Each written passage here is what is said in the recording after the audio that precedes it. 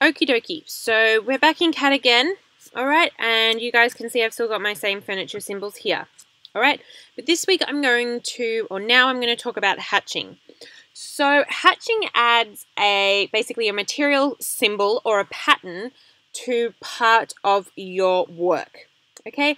Most often it's used to represent like a splashback or maybe a floor tile or in floor, when you're looking at a floor plan, the solid black wall, Okay? So in order to hatch, you first need something that you want to hatch. So if you want to hatch a wall, you need the floor plan drawn. If you want to, say, hatch the bedspread, I need the bed drawn. Okay, so I've got quite a few options here that I could use.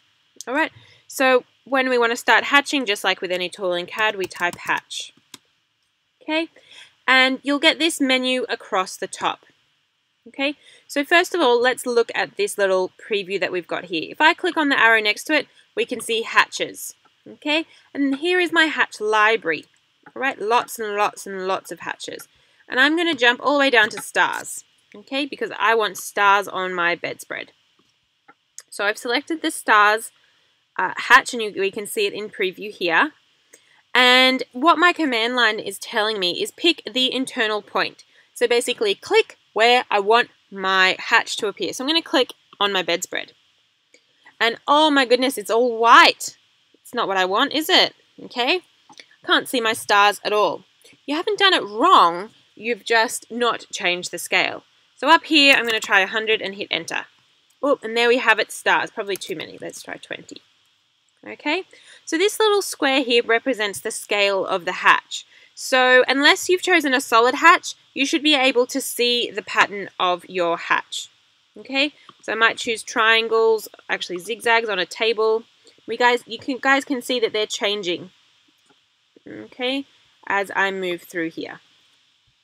All right, when you are happy with the hatch, you just click close. Okay, and it's done.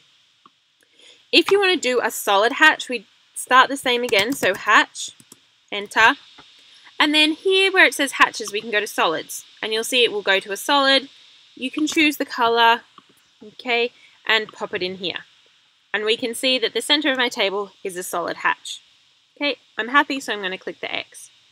If I then, if I'm then not happy with my hatch, I simply click on it and hit delete, just like anything else.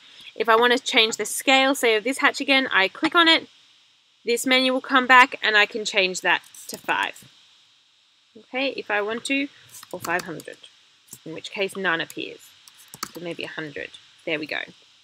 Okay, so that is hatching. Thanks.